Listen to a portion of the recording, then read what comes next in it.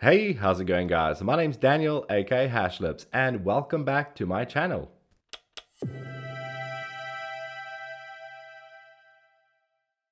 I am very excited for this video because the Hashlips Lab Art Engine 2 is out, although it's an alpha, but we'll discuss that. I want to add that all the videos regarding the Art Engine 2.0 will form part of this playlist. This is because we want to record the development journey as new features come out so that we can explain the tool. So without wasting any more time, let's jump into the video and let me show you the new Art Engine.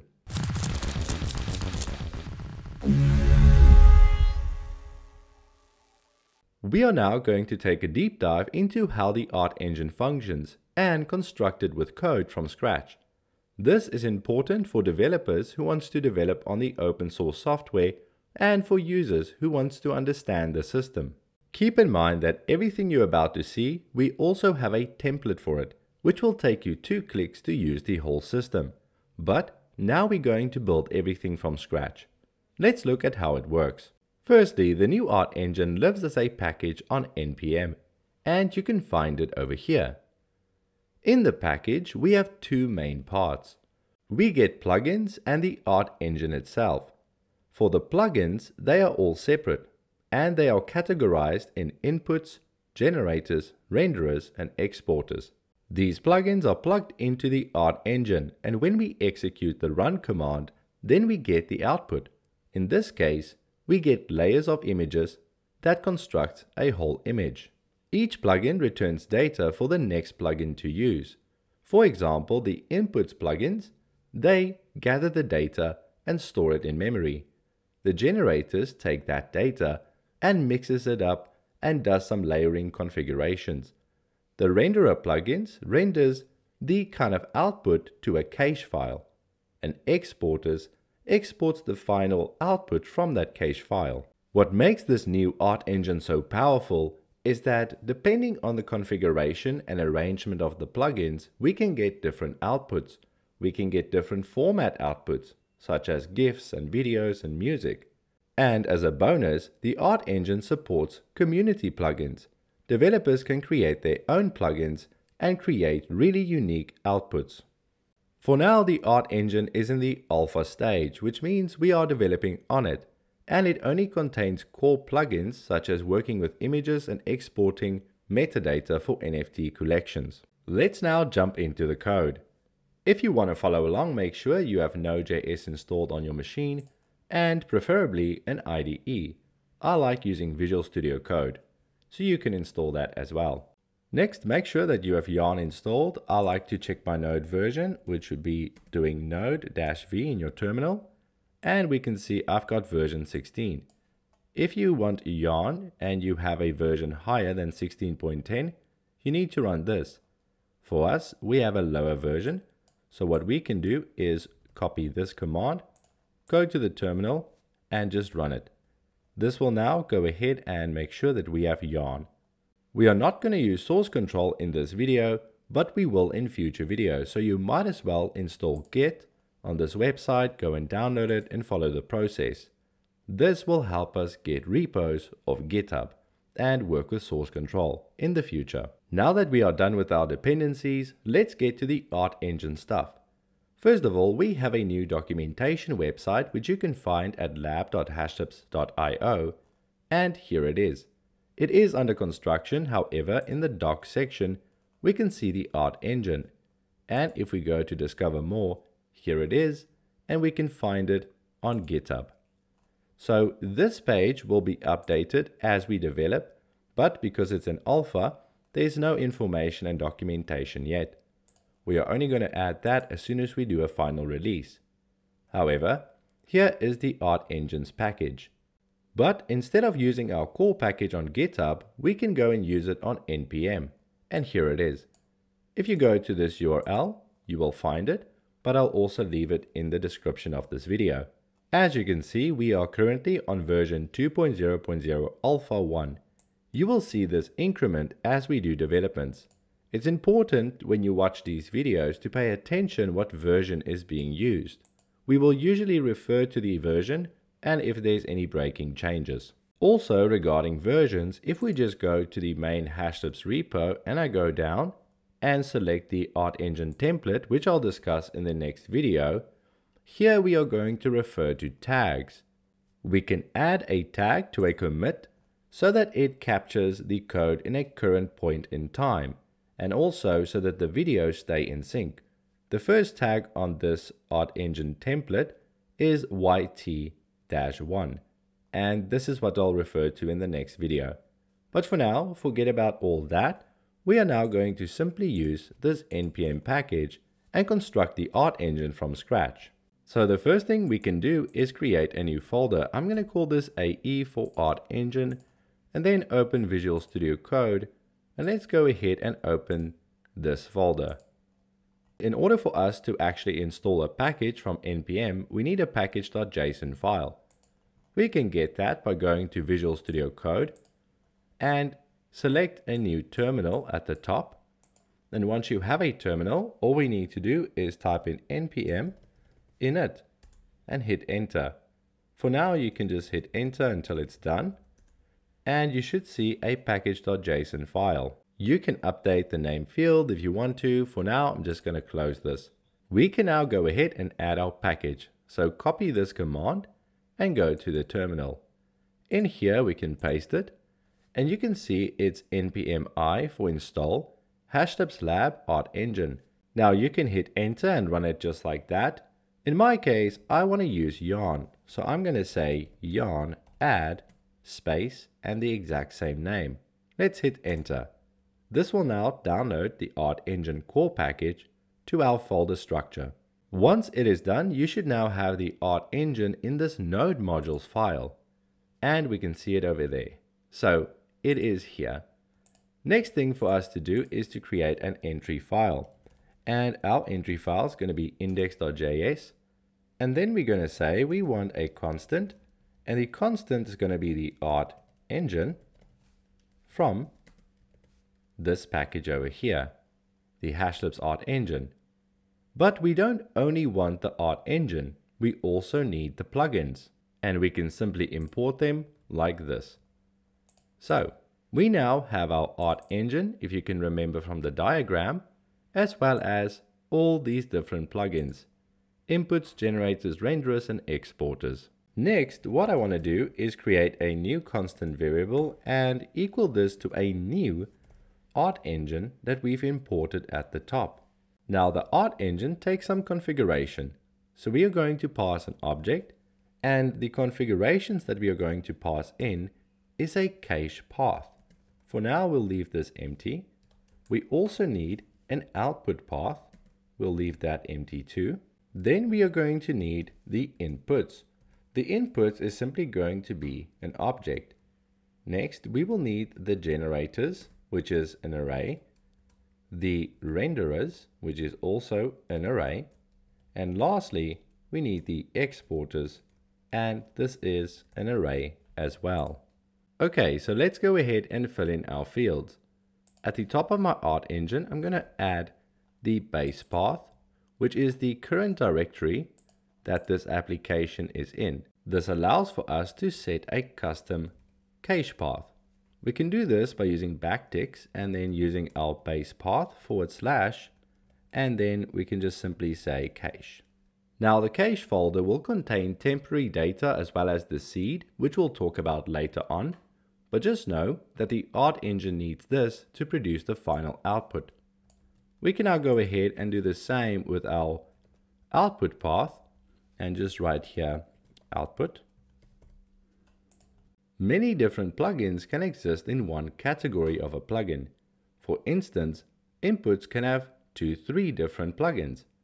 For now, we are simply going to use one, but it works with a key value pair. My key is going to be called apes, and we need to instantiate it with a new inputs, and then we have this image layers input. Now this is the only plugin we have for now, and it works almost like the old art engine. Let me show you. What this plugin requires is a path to your assets, and the assets are simply named folders, the attribute names such as background, body, clothing, face, and props, You can name them whatever. But in each of these, for instance, here's the background, I've got some backgrounds. And in the body folder, I've got some bodies. And for clothing, there's some clothes. Notice that all these images are currently the same size. In the future, they won't need to be.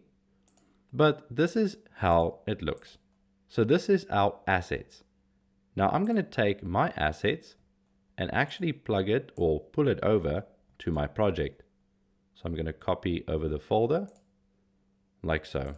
So here we can see all the assets. Now we need to point this plugin, which is going to, in its object, take in an assets base path and the path to our data folder. Okay, so now that is set in place and this plugin should consume this data and pull it into memory for the Art Engine to use. Let me create some space between the configurations so that it is more readable and we don't get confused. Okay, so now we're going to move over to the generators. The generators field takes in an array of generators. So we can simply start off by saying, let's create a new generator and we find the variable and the only plugin for the generator that we have is this one, Image Layers Attributes Generator. Now, here's where we need to pay attention. This expects output from the image layers input. This is how plugins work together. So we know that these two can work together. Sometimes you might find that a plugin doesn't work with another plugin, but then we'll just need to create uh, that support. This will be explained in the documentation once we get to doing a release. Okay, so what this plugin takes in is three different things. We have a data set. Now the data set is a string, and the string needs to match up to whatever data input you want to use. In our case, we're going to use this generator for this ape set of data. It is at this point where we need to specify how many items we want to produce. We can do that by specifying a start index, and I'm going to make it 1, and then an end index, and we're going to say 3. So we're going to start at 1 and end at 3, meaning that we are going to produce 3 items from this set of data. Now, before we go on, I just want to illustrate something. Let's say we had another set of data from images and we have a total different image set and these were maybe dogs. Then what we could do is create a new generator as well and say that this needs to go from 4 to 5, for instance, and use the dogs dataset. And now you can start to see how powerful this tool can really be. For now, we don't have this extra data set, so we're not going to do that. We're just going to simply use one. So let's carry on to our renderers. For the renderer, we are also going to add a new renderer. And the renderer we're going to add, we have two options. For now, I'm simply going to add the layers renderer and we'll touch on the other one in just a second. So, what does the layers renderer take? Well, it takes the width and height. For now, you need to make the width and height the exact same until we do the next release. But here's the height and we're going to make this the same as well. When I say these need to be the same, I'm talking about it needs to be the same size as your images that you are using. Now let's move on to our exporters. So for the exporters, it's pretty simple. It's also an array. And we're going to give it a new exporter. And this exporter is going to be the image exporter. And for now, it doesn't take in anything. And now finally, to run our art engine, we need to refer to the art engine, which is AE. So AE dot run. And we're going to execute this. Once this is set in place, we can go to the terminal. Let's clear it. And then go ahead and say node index.js. Hit enter. And there we go. So we can now see that the Hashlips lab ran, but we got a tiny bit of an error. And I'm doing this so that you can see that the art engine will give you certain messages. For example, it could not find any supported attributes. Now for now, I know that this means that we need to actually render the attributes because it needs to use it as the name for the PNG that it's going to export. So to get the attributes rendered, what we can do is add a new renderer here at the top of the array, and this will be the items attributes renderer. Now this takes in a few things as well, and the two things are the name and description. So we're going to give it a name, and this will eventually be a string, and the description, which will also be a string. For now, we can simply leave it empty and then run the program again. So let's open this up. Let's clear our terminal, press Command K. The up arrow will give us the latest command, node index.js, and let's run it. And now we can see it loaded the data, generated, did the rendering and exporting, and it's complete. After running the engine successfully, you'll notice new folders being created. We have an extra cache and an output folder. If we open the cache, we can see a temp folder and a seed.json. The seed is something that if it stays the same in this file, it will produce the exact same output.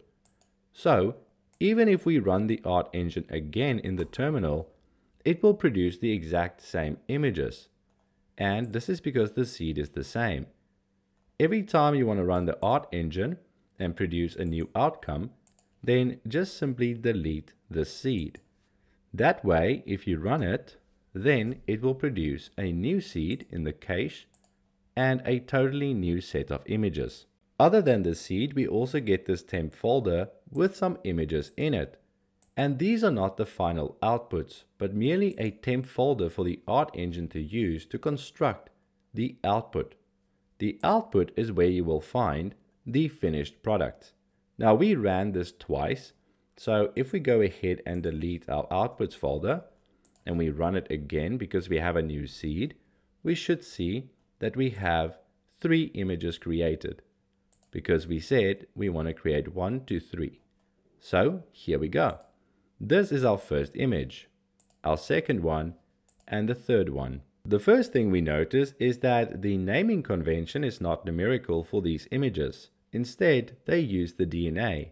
The layers that made up this image creates this DNA. This is because later on metadata will use this and sometimes two metadata files can use the same image. So this is why they are named like this in the outputs folder. The outputs are all the final renders from the art engine. The second thing we notice is that something looks a bit off. These don't look like the images are really constructed in the right order. So let's go ahead and fix that. Remember that the order has to do with our image layers input and it takes this base file. So what we will need to do is essentially go to our data and add some tags. Keep in mind everything we're about to change only has to do with this plugin. Other plugins or input plugins might have totally different ways of importing the data once they come along in the future. Okay, so let's add some tags. And the first tag we're going to add is called the Z tag, the Z index. The Z index will determine the order that these images get rendered in. And we add a tag by renaming the entire folder and start with a double underscore, then the letter in our case Z and a number. Lower numbers will get rendered first. So for the background folder, we want that to be first, then we want to make sure that our body is next. So we'll say Z20. Next, we're going to choose the clothing. And coincidentally, these are now in the same order, but sometimes they might not be. And then we're going to render the face, which is Z40. And I think you get the idea. So this one, Z50. Now for a normal collection, if the order was predefined by the designer, this should work out. But what if we want to add some rarities? We can do that by adding a rarity weight.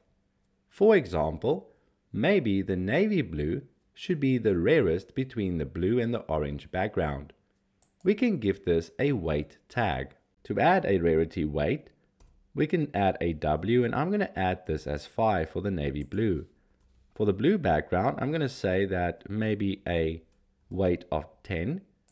And for the orange one, maybe a weight of 20. Now the navy blue is the most rare, then blue, then orange. If a file does not have a rarity weight tag, it's by default 1. So, if you put some rarity tags and forgot to put one on the orange, then the orange would be the most rare.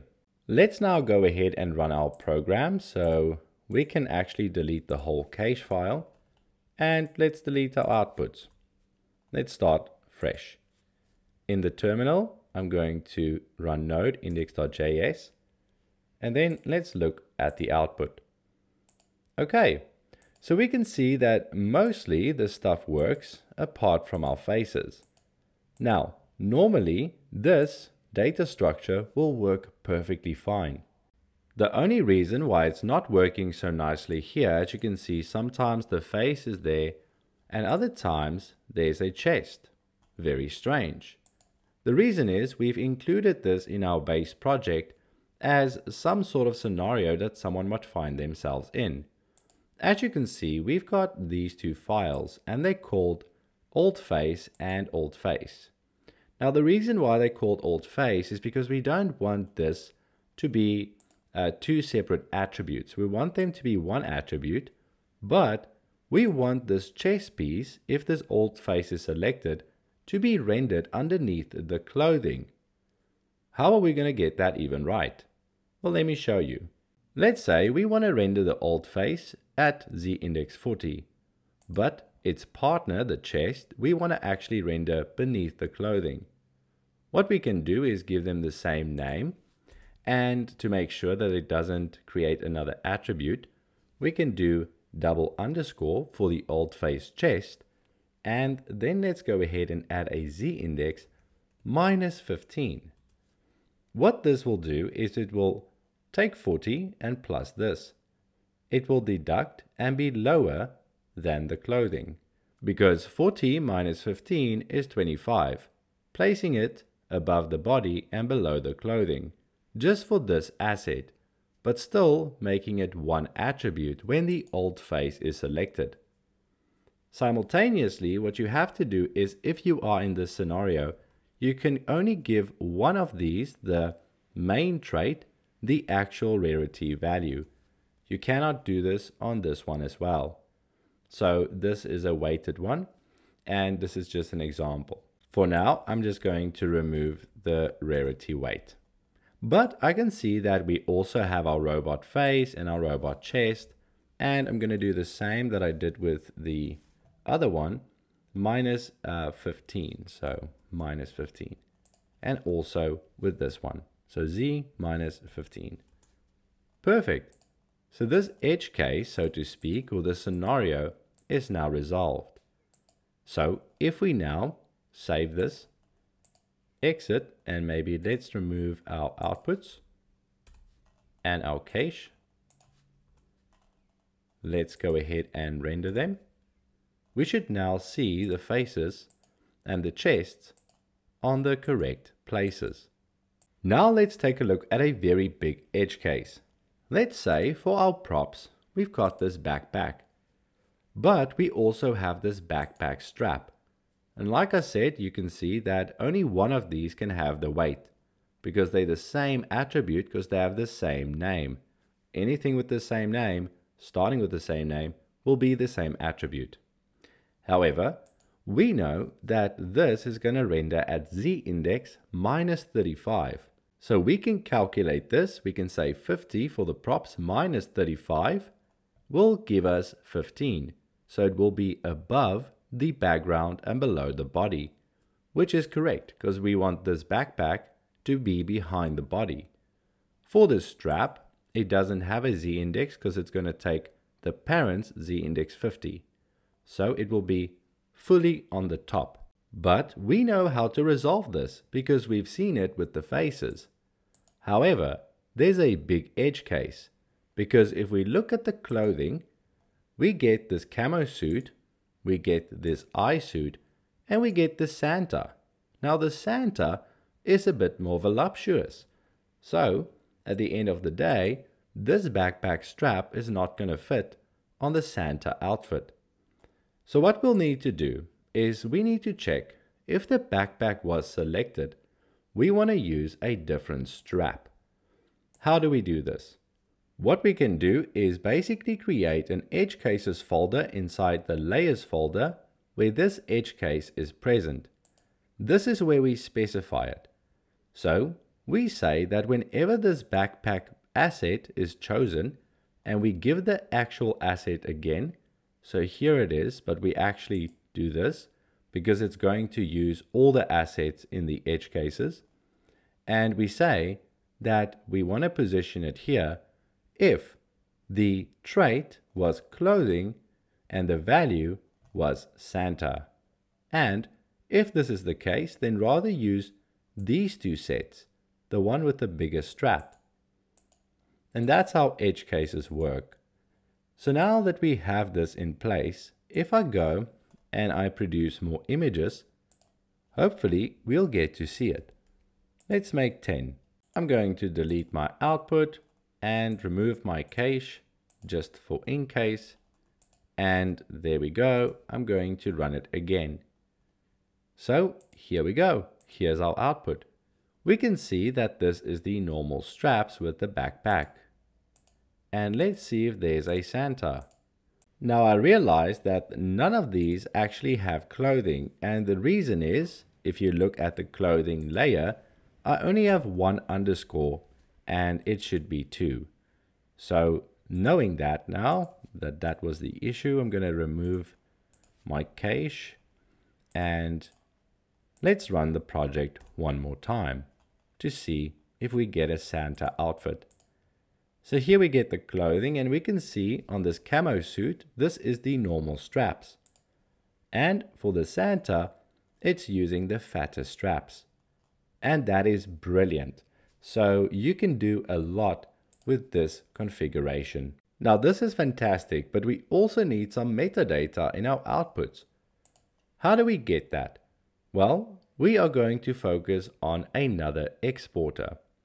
This time, we are going to add a new exporter, and this will be exporters ERC721 metadata exporter. This exporter will simply take in the image URI prefix. So we've got our image exporter and now also the metadata exporter. If we save this and run it, magic happens. First of all, our images will not change because we're not going to delete the cache seed. We're going to leave it as is and we just simply want to re-render everything and add the metadata. So if we run it, we should see the output and in here we can see the ERC721 metadata files. These are the JSON files that holds the attributes, the UID, the DNA, and as you can see, it also has the image, which it refers to the DNA.png, these images. Usually with NFT collections, we upload the images to a decentral storage first. Then we come back and we change the CID, whatever the code might be. Then we need to rerun the application so that the JSON files reflects and points to that file. Just know that currently the application will rerun and render all the images and JSON files if you do this. Although it would be exactly the same because of our seed, the caching system is not implemented yet, which we'll implement in the future. Now, another thing for all those Solana fans out there who's going to ask me if there's a way for this to generate Solana metadata, of course there is, and you can just add another plugin. It looks like this and it is a bit more details that you have to fill in, but it is the Sol metadata exporter. This way, if you've generated your images and filled in your data, you can now simply save it, run it again, and simply see the Sol metadata come into play as well. And there you have it. Now, I would highly appreciate any feedback in the comments that you might have. And what are you excited about the most for this application and what would you like to see implemented in the tool? Now, before you go and have some fun with the art engine, uh, remember to kind of delete the cache if you really want to create a whole new collection. Keep the cache and the seed if you want to create the same collection, but just add some data to it and so on. And I also want to show you something special. I'm creating a IIFE over here, and this is going to be a self-executing function because I want to make this async like so. And in here, I'm going to actually cut out my run call and await it. And right after this, I'm going to run ae.print performance. And now that I have this, if I run the art engine, I can actually see how long it takes for each plugin to run. And an extra tip regarding the metadata, if we look at the name and the description that are empty, we can basically go to where our name and description is, and instead of just returning a string, we can return functions. So for my name, I actually get the UID of the current NFT or the image. So I can say this is ape1 or 2 or actually whatever the UID is. The same with the description, I am passing in the attributes which we have access to and we can extract it like so. This way, if we run it again, we can now get some dynamic names and some dynamic um, descriptions. And here we can see the name and the new description. So, I really hope that you enjoyed this full-on showcase with me. Tell me in the comment section what are you going to try first. As always, if you get stuck with anything that we do on these videos, go to the hashlips.online website, go to the Discord channel and join thousands of devs asking questions because they will be willing to help you out. Also, if you love the tools that we are making, consider getting one of our NFTs. This is Sketchy Ape Book Club, my personal artwork NFT collection. These are cool little monkey characters and they are pretty nice to have as an artwork. Marco who is the co-creator of the art engine with me, runs the Open Dev crew. This collection is very special and you can read up more on it, but in the Discord you can get personal help and make requests if you own one of these tokens. And lastly, if you value the content we create, please consider subscribing. I hope you're gonna have a fantastic day. Cheers for now.